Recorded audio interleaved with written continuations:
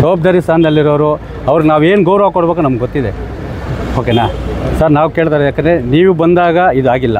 ಹಿಂದೆ ಇಲ್ಲಿ confident group ಅಂತ ಒಂದು ಇದೆ ನಿಮಗೂ ಮಾಹಿತಿ ಇರ್ತದೆ. ನಿಮ್ಮ ಕಂದಾಯ ಇಲಾಖೆ ಅನ್ನೋ ಮಾಹಿತಿ ಪಡೆದಿರ್ತೀರ?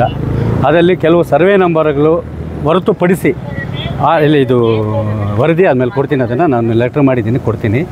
ಅದರಲ್ಲಿ ಕೆಲವು ಸರ್ವೆ ನಂಬರ್ ಕೊಡಪ್ಪ ಇಲ್ಲೇ. ಸರ್ವೆ ನಂಬರ್ಗಳಲ್ಲಿ, ಏನು ಸರ್?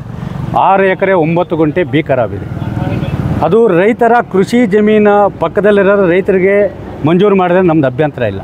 ಈ ಆರು ಎಕರೆ ಒಂಬತ್ತು ಗುಂಟೆಯಲ್ಲಿ ಒಬ್ಬ ಗಾಲ್ಪ್ ಮಾಲೀಕರು ಮಿನಿಮಮ್ ಅಂದರೆ ನೂರು ವಿಲ್ಲಾ ಪ್ಲಾಟ್ ಮಾಡ್ಬೋದು, ನೂರು ಸೈಟ್ ಮಾಡ್ಬೋದು, ಹದಿನೈದು ಸೈಟ್ ಮಾಡಿದ್ರು ನೂರು ಸೈಟ್ ಮಾಡ್ಬೋದು. ನೂರು ಸೈಟಲ್ಲ ನಾವು ಒಂದು ಒಂದು ಕೋಟಿಗೆ ಮಾಡಿದ್ರೆ ನೂರು ಕೋಟಿ ರೂಪಾಯಿ ಆ ಭೂ ವ್ಯವಹಾರ ನಡೀತದೆ. ಅದರ ಜೊತೆಗೆ ಕೆರೆ, ಕುಂಟೆ, ಗೋಮಾಳ, ಗುಂಡು ತೋಪು, ಅರವತ್ತು ಎಕರೆ ಒತ್ತುವರಿ ಇದೆ.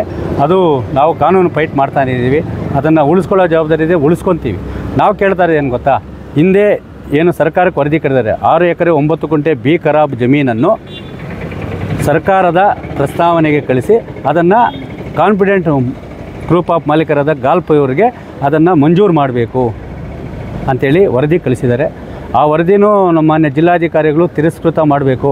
ಅದರಲ್ಲಿ ಇನ್ನೂ ಬೇರೆ ಸೆಡ್ಗಳಲ್ಲಿ ಹಾಕ್ಕೊಂಡು ಕೆರೆ ಕುಂಟೆಗಳು ಮಾಡ್ಕೊಂಡಿದ್ದಾರೆ ಅಂತ ಇದೆ ದಯವಿಟ್ಟು ನೀವು ಹೊಸದಾಗಿ ಬಂದಿದ್ದಾರೆ, ಇನ್ನೂ ಒಂದು ಸರಿ ಪರಿಶೀಲನೆ ಮಾಡಿ. ಮಾನ್ಯ ಕಂದಾಯ ಮಂತ್ರಿಗಳಿಗೆ ನಿಮ್ಮ ಪ್ರಕಾರ ಯಾವ ಸರ್ವೆನಲ್ಲಿ ಆರು ಎಕರೆ ಒಂಬತ್ತು ಗುಂಟೆ? ಇಲ್ಲ ರೈತರಿಗಾರ ಮಂಜೂರು ಮಾಡಿ, ಇಲ್ಲ ಜಾನುವಾರುಗಳಿಗೆ ಆರು ಎಕರೆ ಒಂಬತ್ತು ಗುಂಟೆನ ಮಂಜೂರು ಮಾಡಿ, ಇಲ್ಲ ಭೂಮಿ ಇಲ್ಲದ ನಿವೇಶನಗಳೇನಿಲ್ಲ, ಅಕ್ಕಮನೆ ದಿನೇ ಮತ್ತು ಅಂಗಯ್ಯನ ದಿನೇ, ಅವ್ರದ್ದೇ ಹೋಗಿರೋದಲ್ಲಿ. ಅವರಿಗೆ ಆದ್ರೂ ನಿವೇಶನಗಾರರು ಮಂಜೂರು ಮಾಡಿ. ದಯವಿಟ್ಟು ರಿಯಲ್ ಎಸ್ಟೇಟ್ ಉದ್ಯಮಿಗಳಿಗೆ ಮಂಜೂರು ಮಾಡಿ.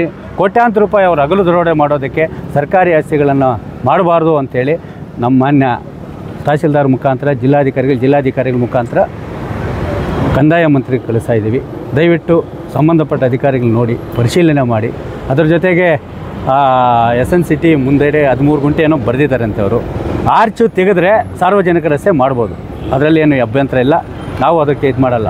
ಸಾರ್ವಜನಿಕ ರಸ್ತೆಗೆ ಆರ್ಚ್ ಹಾಕಿದ ಮೇಲೆ ಅಲ್ಲಿ ಸೆಕ್ಯೂರಿಟಿ ಮತ್ತು ಗೇಟ್ ಹಾಕಿದ ಮೇಲೆ ಅದು ಸಾರ್ವಜನಿಕ ರಸ್ತೆ ಆಗಲ್ಲ. ಇವಾಗ ನೀವು ಹೋಗ್ಬೇಕಾದ್ರೂ ಅದನ್ನು ಇದು ಮಾಡಬೇಕಾಗ್ತದೆ. ಅದಕ್ಕೋಸ್ಕರ ಅದನ್ನು ಏನು ಪರಿಶೀಲನೆ ಮಾಡಬೇಕು ಅದು ವರದಿ ನಿಮ್ಗೆ ಗೊತ್ತಿದೆ. ಅದು ಜಿಲ್ಲಾಧಿಕಾರಿಗಳ ಹತ್ರ ಒಂದು ಹತ್ರ ನೀವು ನೀವು ಹೋಗಿ ಭೇಟಿಯಾಗಿ ಈಗ ಸಂಬಂಧಪಟ್ಟ ಕಡತ ಏನಾಗಿದೆ ಗೊತ್ತಿಲ್ಲ ಸರ್ ಅಂತ ಇದು ಮಾಡಿ. ದಯವಿಟ್ಟು ಸರ್ಕಾರಿ ಆಸ್ತಿಗಳನ್ನ ಉಳಿಸಿ.